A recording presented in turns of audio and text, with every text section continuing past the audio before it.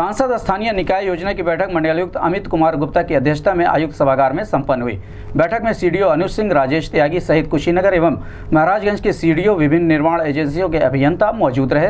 बैठक में कमिश्नर ने निर्देश दिया कि निर्माण कार्यों को निर्धारित समय सीमा के अंतर्गत पूरा किया जाए तथा उसकी गुणवत्ता पर विशेष ध्यान दिया जाए। उन्होंने ये भी निर्देश दिए कि यदि पुराने कार्यों का निपटारा जिस कार्यदायी संस्था द्वारा समय से पूरा नहीं किया गया है तो उन्हें काम नहीं दिया जाएगा, क्योंकि विकास कार्य शासन की में शामिल है। इसलिए इसमें किसी भी स्तर पर लापरवाही क्षम्य नहीं होगी। मंडलायुक्त ने कहा कि जो कार्य पूर्ण हो, उसका सत्यापन कराया जाए और सभी कार्यों की फोटोग्राफी अवश्य हो। यदि प्रथम किश्त की अवमुक्त धन राशि समय से व्यय हो चुकी हो तो द्वितीय किश्त की डिमांड भी की जाए। उन्होंने कहा कि धनराशि की उपलब्धता के बावजूद यदि कार्य में अपेक्षित प्रगति नहीं पाई गई अथवा कार्य अनारंभ पाया गया तो वो बेहद आपत्तिजनक है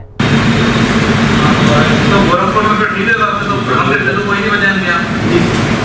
रिपोर्ट से करती है तो बताइए अपने स्वीकृति है तो प्रथम लेते तो प्रथम लेते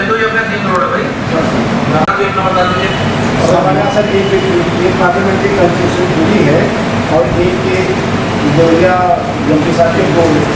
विधानसभा विधानसभा के रामपुर और खाली इसमें माननीय सांसद जी ने कुछ प्रस्ताव दिए थे तो वो उसके आवेदन बन रहे सदन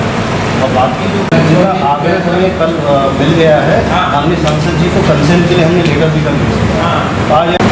महाराजगंज महाराज से पुराने काम